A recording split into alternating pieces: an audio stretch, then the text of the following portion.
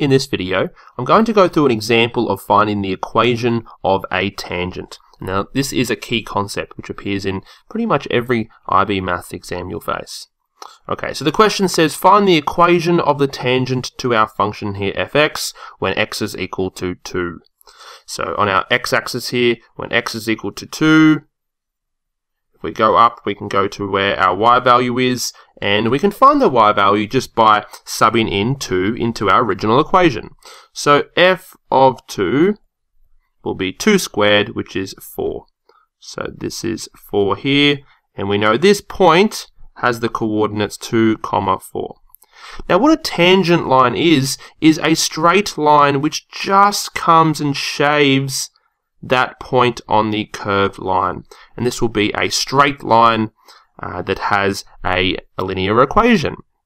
And back when we did coordinate geometry, we learned how to find the equation of a straight line, and it will be in the form of y equals mx plus c.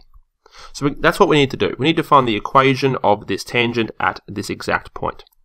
Now the steps to find the equation of a tangent are, we first need to take our function and find the derivative. So f dash of x, our first derivative, will be 2x. Now what the first derivative actually means on a curved line, it means we've actually just found the gradient equation. And what I mean by a gradient equation is that if we then sub in an x value into the derivative, we then find the gradient at that x value.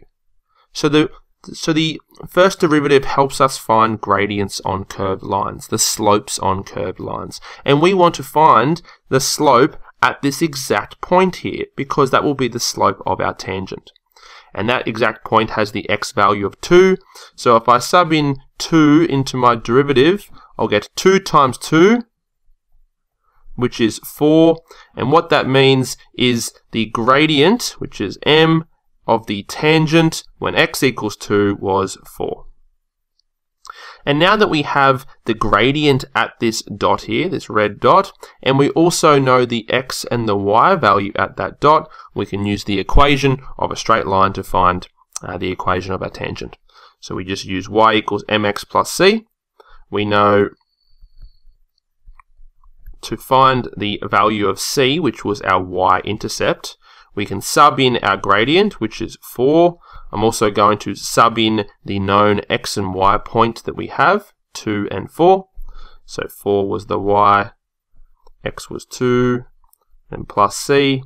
So 4 is equal to 8 plus c, and if I move the 8 over as a negative, c will be equal to negative 4. And once I have c, I now have my equation of my tangent, because y equals m, which was 4x minus c, which is minus 4. Okay, so that's the process of finding the equation of a tangent.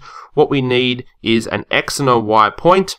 To find the y point, if it's not given in the question, we sub the x point into our original function to find the y point. And once we have that, all we need is the slope at that point, and that's why we use the first derivative and sub in the x point here. Okay, so I encourage you to practice a bunch of these questions. They may ask you to find after the tangent the normal, and what the normal to the curve is is the is the straight line which is perpendicular to the tangent. And all you need to do there is the, exactly the same process as what we just did then. We need an x and a y point, which will actually be the same for a tangent and normal, but we just need the slope of the normal, which is the negative reciprocal of the slope of the tangent. So in this case here, our m would be negative 1 on 4. And then we would just use the equation of a straight line. Okay, I encourage you to practice a bunch of these questions, so good luck.